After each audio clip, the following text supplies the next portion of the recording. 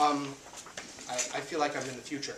I mean that. Uh, I, literally, sitting in this room, I thought to myself, this is where we'd always hoped this would go.